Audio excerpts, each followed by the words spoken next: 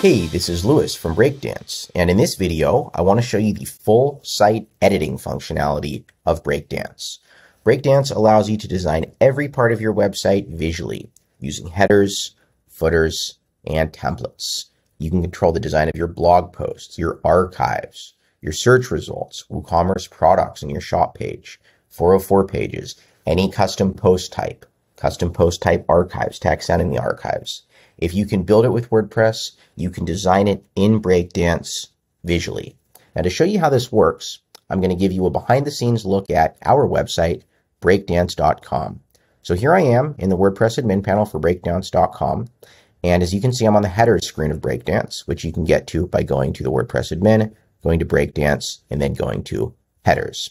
And here I only have one header set up, but you can create as many headers as you want, and you can apply them to different site areas. So for example, if I want to create a second header that only applies to my member portal, I could create a new header. I'll call this member portal header. Where do I want to apply the header? I'm just going to choose everywhere and then narrow it down with the condition. I'll choose condition. I'm going to choose page is, and then I'm going to choose my member portal page. And this header would only apply to my member portal.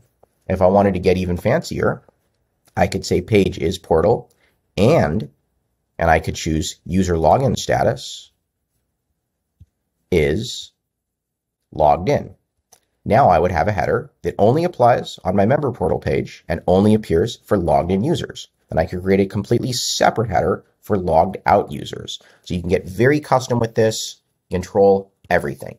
Okay, I'm not going to do that for purposes of this demo. I'm just going to open up my existing header and show you. So let's go to header and click edit in Breakdance. And here is my header in Breakdance. I have a header builder. I've got an image. I've got a menu builder inside it. I've created these drop downs visually with Breakdance. I've got my account and call to action button. I've got a little top bar. Check out our video on menu and header builder to learn more about how to do completely custom headers.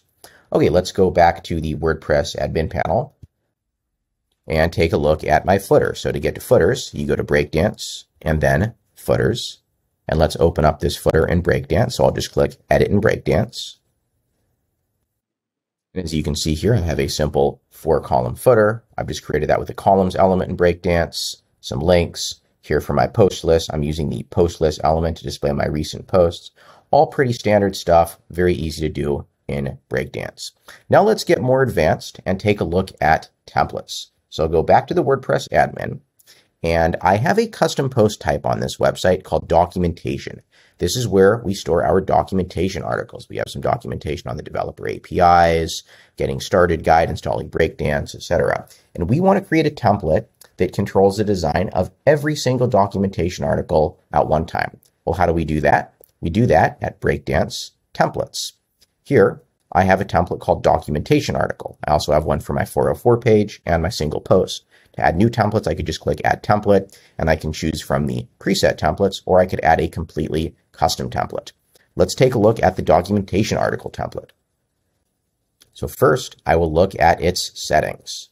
Let's click continue and here are the settings. The title is documentation article and the location is single documentation. This means it will apply to all single documentation articles.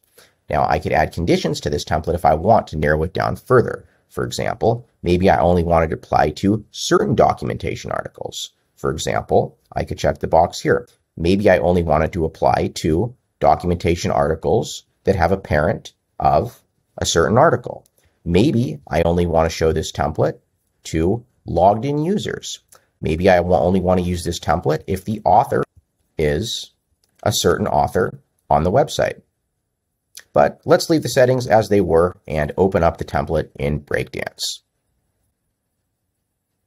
So here I am inside of Breakdance, and I can preview the different articles on my site by just choosing a different article from the preview dropdown. That allows me to quickly see everything this template applies to. And you can see how I built it. I have a heading element too. I've linked that heading element dynamically to the post title. So for example, I might just start off with a heading and then I'll click the dynamic data icon and I can choose post title. This is the title of the article. So for the security article, the title is security. If I go to another article like installing breakdance, the title will be installing breakdance. For the content, I've added this rich text element. I've linked it to the post content. And then I've created a global block here that shows my documentation navigation, which I could edit separately. One of the key benefits of Breakdance is the ability to use it without a theme. Here I am at Breakdance, Settings, Theme in the WordPress admin, and you'll see that under WordPress theme system, I've chosen Disable Theme. This allows me to design every part of the website with Breakdance with no interference or bloat from the theme. This gives me the best performance and maximum flexibility. If I wanted to use Breakdance with a theme, I could. I would just choose Keep Theme, and then my theme's header, footer, and templates would be used unless I explicitly overrode them with Breakdance. You'll know the theme is disabled when you go to the Appearance Themes page, and you'll see all of your themes uh, grayed out, and you'll see a message saying you disabled the WordPress theme system entirely. The active theme will be never loaded and has no impact on your site's performance. Okay, that is a quick overview of full site editing in Breakdance. You can build every part of your website visually and you have full control of all parts of your site. This is Lewis from Breakdance and thank you very much for watching.